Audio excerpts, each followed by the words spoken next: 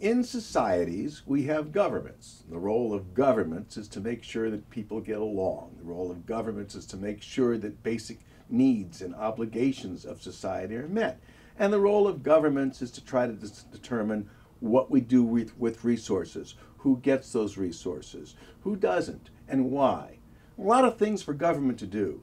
Much of this is wrapped up in the making of public policy. We call it public policy because it's the kinds of decisions made by governments rather than decisions that we make every day as individuals.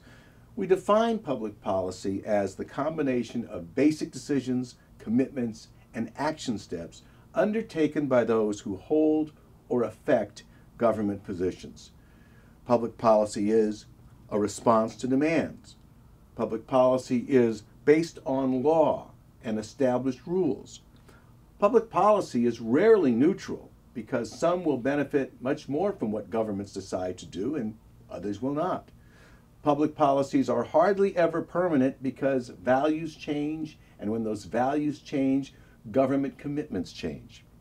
And finally, public policy is authoritative and coercive. When the government makes public policy, they can force you to go by it force you to put a stamp on, to mail a letter, force you to stop at a red light.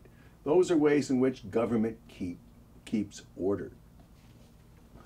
Three important observations come to mind with respect to this definition. First, those in power include people in the executive branch, the legislative branch, the judicial branch, certainly the bureaucracy. That means that some of these public policy officials are elected, some are not. All, however, hold positions of public authority. That's important. And as such, they're entitled to act. Second, those in position of uh, public power are found at all levels of authority national, president, Congress, judiciary, state, the governors, legislatures, people at that level, uh, local, cities, counties, even all the way down to school districts and classrooms. All of these are public policy making environments. And finally, public policymakers may exercise their power, their authority, only within their spheres of constitutionally prescribed authority.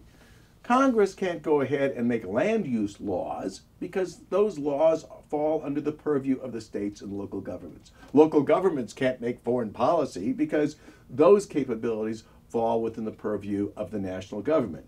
As long as we remember that each of these various levels can make policies within their respective jurisdiction, everything is fine. The bottom line is simply this public policy exists at all levels of authority.